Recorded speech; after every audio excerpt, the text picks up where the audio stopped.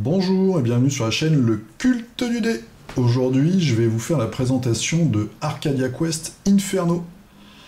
C'est la deuxième saison euh, d'Arcadia Quest. C'était un Kickstarter qui est sorti il y a un peu plus d'un an, qu'on vient de recevoir. Moi, je l'ai reçu ce matin. Donc c'est un jeu d'Eric Lang, de Fred Perret, de Guilherme Goulard et de Thiago Arenga. Euh, cool mini en note, Spaghetti Western Games, donc là vous avez la boîte de base, la boîte des bonus, et puis deux autres petites boîtes de bonus aussi. Je vous ferai une deuxième vidéo pour vous montrer les fils des bonus. Aujourd'hui, je vais vous montrer le contenu de cette boîte-là.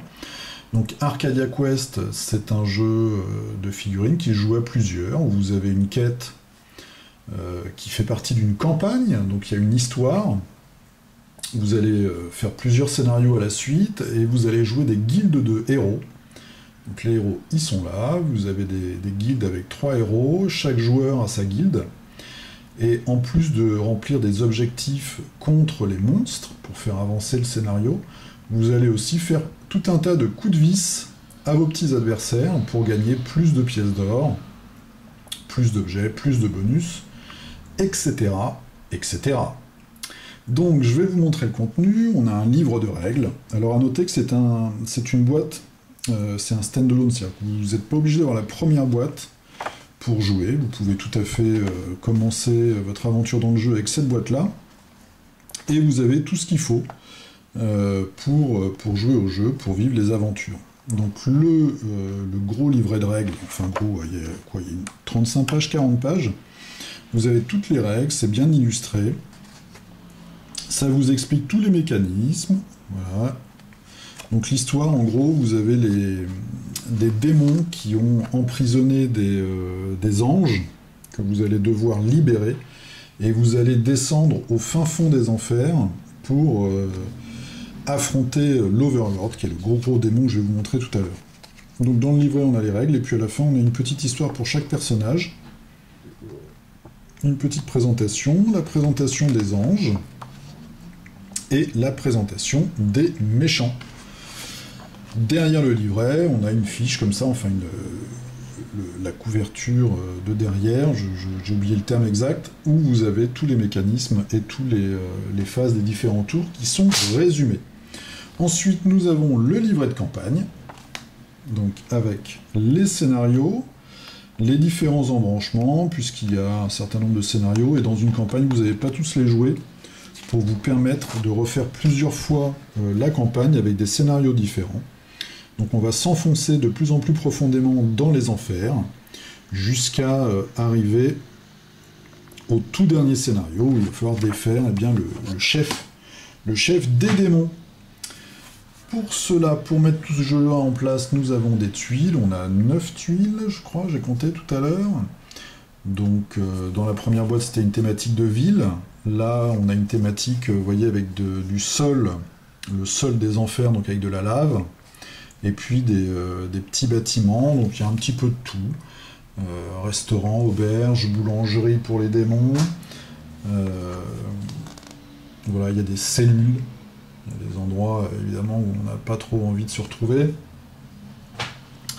La salle du trône, voilà, il y a décoration. Donc vous voyez des couleurs assez, euh, flashy qui vont bien avec le jeu. Je ne vais pas tout vous montrer. Euh, voilà, il y a des entrepôts. Qu'est-ce qu'il y a de rigolo? Qu'est-ce qu'il y a de rigolo? Tout à l'heure, j'avais vu une table avec... Alors voilà, là, il y a par exemple des statues qui sont cassées. Voilà, une table avec du saucisson, du pain, du saucisson, de la bière. Comme quoi, les démons, eh ben, il ne s'ennuie pas, il y a beaucoup d'humour dans le jeu. Vous allez voir les figurines. Si vous voulez plus de détails sur les règles et puis des parties filmées, vous en avez notamment sur la chaîne euh, G2D de mon ami Maurice qui vient de fêter son anniversaire et aussi euh, sur la chaîne DDA Prod. Là, nous avons tous les petits feuillets qui vont nous permettre, alors un feuillet par campagne, de résumer l'avancement des guildes, puisque vous avez gagné des objets, des capacités, et puis l'avancement des scénarios, les différents embranchements.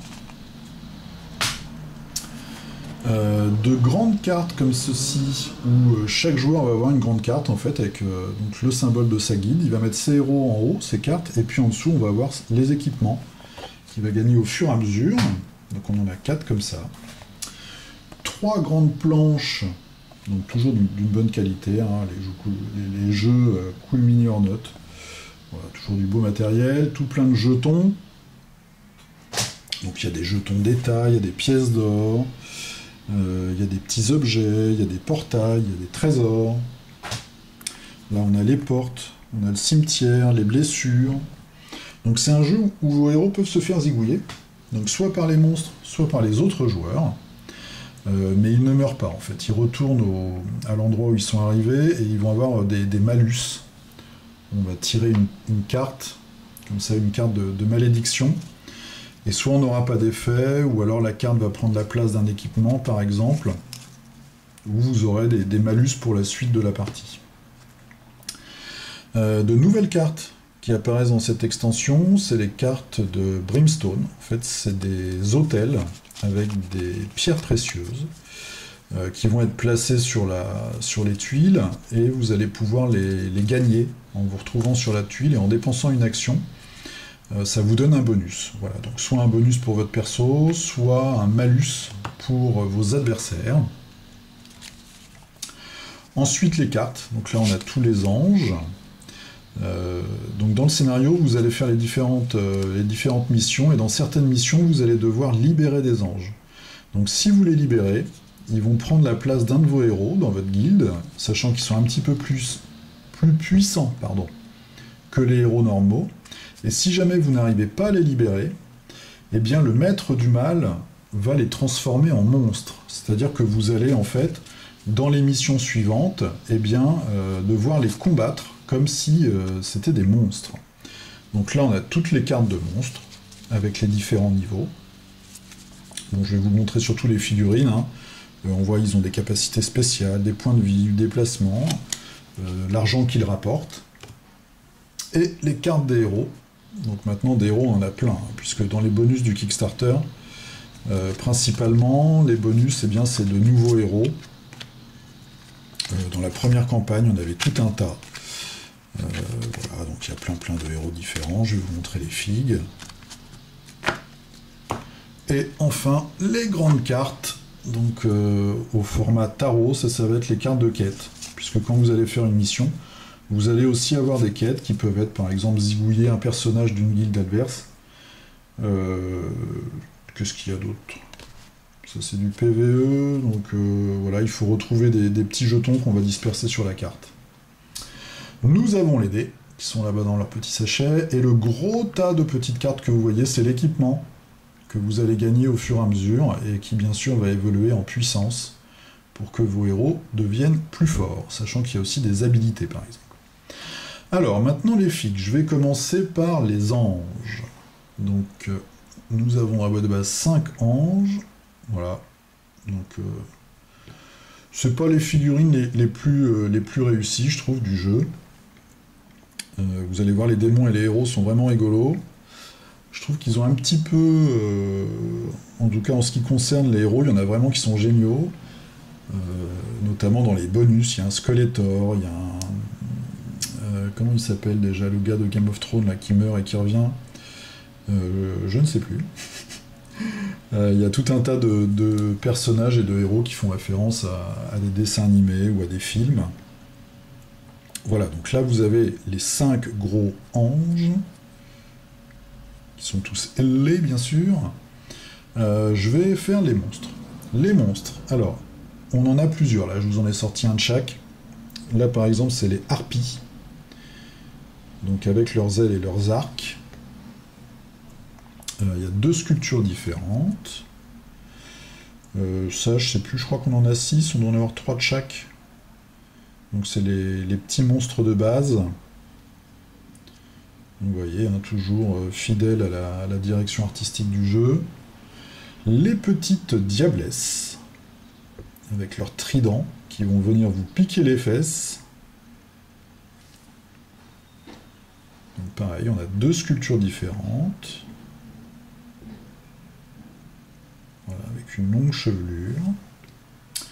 Ensuite, Cerbère. Cerbère, on en a deux. Donc ils lui ont mis des petites plaques d'armure et il a une queue un petit peu bizarre. Euh, et évidemment ces trois têtes de chien, qui ressemblent un petit peu à mon chien d'ailleurs, Sigmund. Donc voilà, des figurines qui ont leur propre style, mais qui sont très réussies. On attaque les gros démons, donc ceux-là on en a deux, c'est des démons qui lancent des boules de feu qu'on voit, c'est euh, entre le démon, euh, on va dire judéo-chrétien, il y a un petit côté aussi hindou. Donc le point commun qu'ils ont, c'est qu'ils ont tous trois yeux. Euh, voilà, avec les, tétons percés, ils sont très musclés, ils ont des cornes un peu partout. Je trouve qu'il y a un petit côté indien, vous voyez, les têtes sont très marrantes. Ensuite, on a deux mini-boss. Donc on a un gros euh, qui doit être magicien, celui-là, je pense. Voilà. Toujours avec les trois yeux, les dents, les petites cornes, la petite houppette derrière, et puis son bâton. Donc celui-là, il est encore plus gros, lui, il est très très musclé, avec ses poils sur le torse. Et là, on voit vraiment, ça fait euh, très indien, je trouve, comme, euh, comme look les trois yeux, les gros sourcils. Voilà. Des piercings. Le petit pagne, les ailes de démon. Je voulais vous montrer un truc. Celui-là, il, a une, il a une queue. Euh, voilà. Euh, c'est assez rigolo, je trouve. heureusement qu'ils ne sont pas trompés de sens. Et enfin, le gros balèze. Donc c'est l'Overlord, le maître des enfers, qui reste toujours assis sur son trône parce qu'il a peur qu'on lui pique sa place. Donc vraiment une très très grosse figurine. Si je vous mets un héros à côté, vous voyez, c'est vraiment une, figurine énorme. Seul petit regret, c'est que tout ça est collé. Euh, et pour la peinture, je pense qu'ils auraient vraiment pu faire l'économie de, coller le, corps du démon sur son trône, parce que là, ça va être une vraie galère de peindre ça. Vous me direz, moi je suis encore en train de faire mes héros euh, zombicides, mais euh, en 2024, quand je vais attaquer la peinture d'Arcadia Quest, je sens que je vais, euh, je vais un peu me galérer. Mais bon, très rigolo. Il fait vraiment un gros gros démon comme ça. Avec son trône. Très très chouette. Les héros. Alors les meilleurs héros, euh, je vous les montrerai la prochaine fois, ils sont dans la boîte de bonus en fait, il y a un peu de tout. Euh, ils sont très très rigolos. Donc là, dans la boîte de base, un petit peu classique, on a un elfe avec ses deux épées. Vous pouvez retrouver sur tout un tas de blogs, hein. je suis sûr que, vous êtes déjà au courant, des, figurines très très bien peintes, euh, qui sont du coup très marrantes. Ça change des autres jeux un peu plus sérieux ou un peu plus glauques. Euh, voilà, donc là on a un guerrier énervé.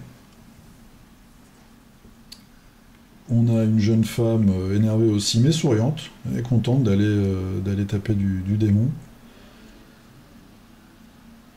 ces épaulettes sont un petit peu bizarres, mais on dirait des, plateaux euh, pour faire griller des, des gâteaux. Une, jeune femme, encore une fois, avec deux petites arbalètes. Voilà. Donc il y a plein de petits détails. Ces petites broches dans les cheveux, la petite natte remontée en arrière, légèrement vêtue. Une autre jeune femme énervée, avec des, petits, euh, je sais pas, des, cerceaux coupants. Euh, voilà. Chevelure au vent, un diadème de princesse. Un magicien entre Gandalf et Moïse, comme ça, les bras écartés. Un empoisonneur, je pense, un gars qui aime bien les potions, il est très réussi celui-là son visage avec ce côté très très méchant. Comme on se fait des, coups de crasse pendant toute la partie, c'est aussi, euh, aussi normal d'avoir des, têtes comme ça de, voleurs ou de magiciens euh, qui sont pas forcément euh, très gentils. Une sorcière avec son balai et son grand chapeau. Voilà, sa baguette ou sa torche, on sait pas trop. Les seins en grande toilette. Figurine très marrante. Une jeune archère. Avec ses cheveux. Grosse tout de cheveux, petite jupette. Un gros, un gros. Euh, est-ce qu'il est africain, est-ce qu'il est hindou euh, Il le peigne euh, avec une peau très sombre sur les, photos du Kickstarter. bon, il a un collier qui pourrait être un collier bouddhique, on va dire. Les oreilles percées, très marrant avec son marteau, petite jambe. ils ont tous des toutes petites jambes. Hein. Un guerrier alors, il n'est pas en armure, il est juste en casque. Là, il a son casque et il est très très très musclé. Il a plein de petits muscles que moi je ne connais pas d'ailleurs, ces muscles-là. Voilà, avec sa lance. Donc il y a certains, euh, certaines figurines qui sont tordues. On voit comme ça. Et le plastique est assez dur. Euh, donc je vais regarder ça, je vais essayer de redresser tout ça, et puis je vous dirai dans une future vidéo euh, si le redressage euh, alors, le redressage fonctionne toujours. Après, c'est de savoir si ça tient dans le temps ou pas. Euh, on verra bien, je vous dirai ça. Et enfin, la dernière figurine, c'est le bouffon. Voilà. Qui est particulièrement réussi aussi. Avec son, chapeau à grelot. J'aime bien aussi sa position. Vous voyez, il a un peu une position comme ça, euh, un peu affaissé vers l'arrière, un peu nonchalant, très très moqueur avec les grelots là au bout de son chapeau. Très sympa. Voilà, donc c'était le contenu, et juste le contenu de la boîte euh, Arcadia Quest Inferno, qui euh, bah voilà, est arrivée aujourd'hui. Euh, tout est arrivé, livré par Colissimo, très très bien, aucun problème. Je vous ferai une vidéo sur, sur les bonus, donc vous voyez, il y a plein de, figurines. C'est Jon Snow, ça y est. Bravo Fred. On a un Skeletor, on a une sorcière qui sort d'un dessin animé de Disney, euh, peut-être, je vais dire une bêtise, donc je vais rien dire.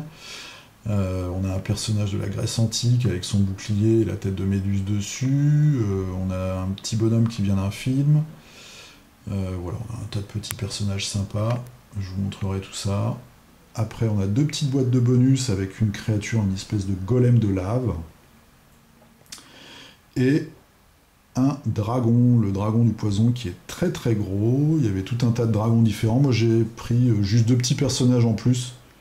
Euh, parce qu'il y avait une, promo, c'était 7 dollars pour deux, persos, donc bon, j'ai pris ça. Mais sinon, j'ai rien pris de plus que le pledge de base.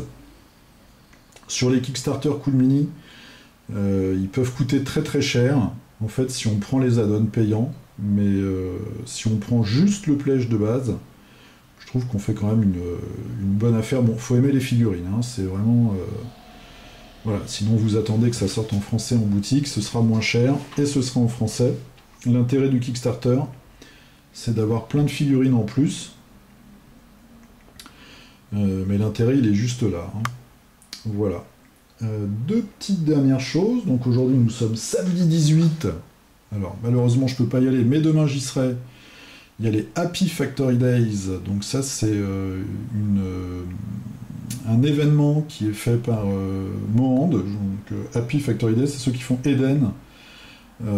Lutin et associés, Escape. Donc je vais y aller demain. Voilà, il y aura de la peinture, des parties. Euh, une buvette. C'est quand même important dans les événements, les buvettes.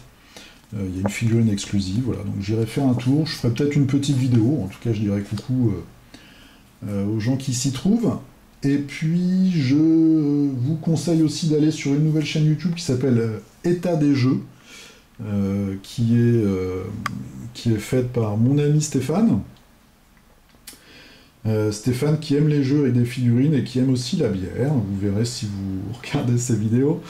Euh, donc là, pour l'instant, il a montré des choses de X-Wing, donc il fait de l'unboxing de X-Wing, euh, de Descent et puis de Talisman. Voilà, donc vous regardez dans ma liste de chaînes ou dans le flux de la chaîne, je me suis abonné. Donc vous voyez son petit icône, c'est un chevalier avec une épée. L'état des jeux. Voilà, voilà, bah, je vous dis à très très bientôt. Euh, pour la suite de cette présentation de Arcadia Quest Inferno. Et puis je vous dis à la prochaine. Euh, je ferai bientôt un petit figurinistique. J'ai peint quelques figurines, pas beaucoup comme d'habitude et en retard, mais quand même quelques-unes. Allez, je vous dis à plus, portez-vous bien, jouez bien. Salut